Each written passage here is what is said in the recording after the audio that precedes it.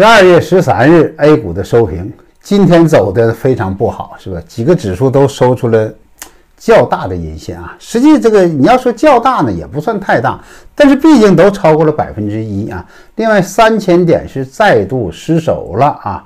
那么北上的资金流出了一百个亿以上，盘中的时候尾盘呢稍稍收回一点是九十五个亿，但这个数量也是也是比较大的。那么这种反弹的行情。是不是昙花一现就结束了呢？我们今天来重点来看一看啊，先来看一看数据啊。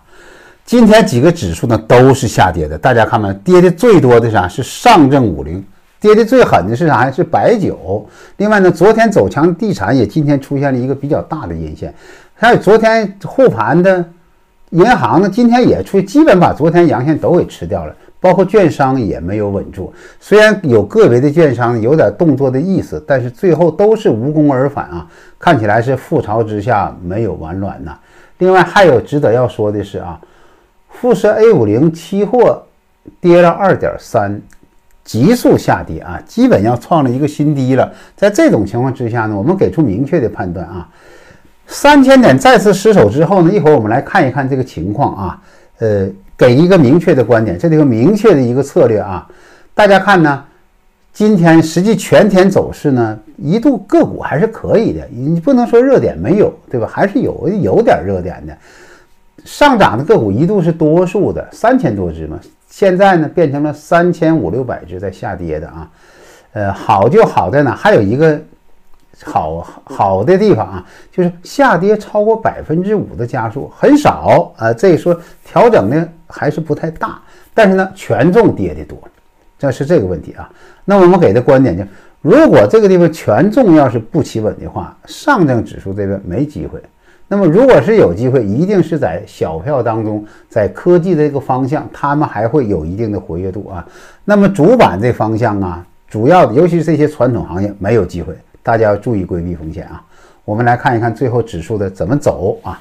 先来看看科创板五零指数啊，科创板五零指数呢也出现了单边的下挫，但是它是这么个逻辑啊，它是涨了两天之后的回探，很显然它就要重新考验前期这个低点附近啊。说有没有跌穿的可能？什么种可能都有，大家不要就是说一根筋啊，看这个低点能不能守得住，守得住再说啊。判断，但是。判断判断这地方良性调整的概率偏大，至少是有反抽之后，如果这地方反上之后这个高点不过，那就要小心了。或者是再反上的时候，看它这个力度啊，这个位置呢，现在不用太着急啊。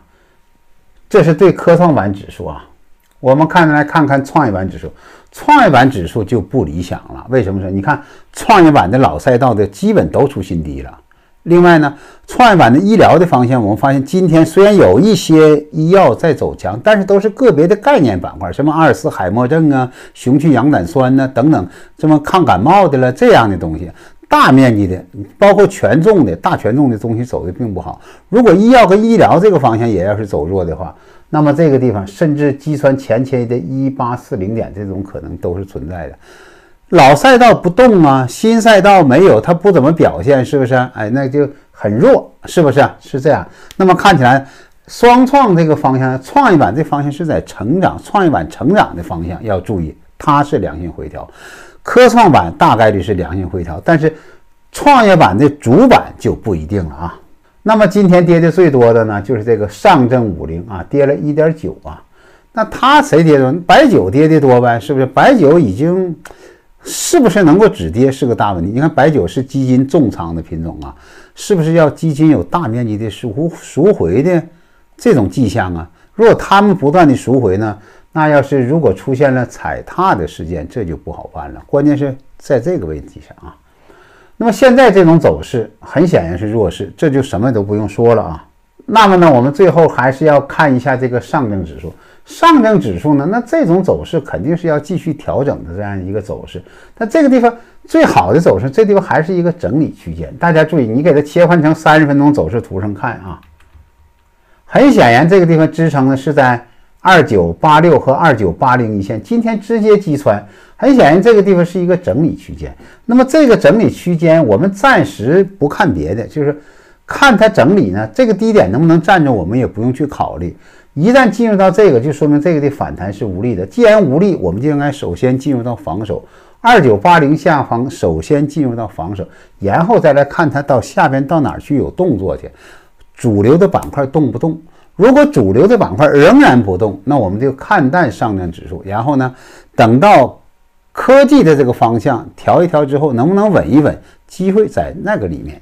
所以说呢，这地方首先我们要前两天说进入到可操作状态，实际今天上午呢，跟今天午后就应该大面积的减，就转入到防守，就是这个观点啊。呃，也不要考虑太多，这个地方我们要多点耐心，毕竟是两千九百点左右了，已经三千点下方，它还能停留多长时间？昨天我们刚说三千点下方不会停留的太久，现在我们依然是这个态度，但这个态度是这个态度，不等于不防啊，因为我们不知道要给下边震荡多长时间，这个事情不好说的啊。呃，这周呢概率不大了，嗯，那么走一步看一步吧，大家再见。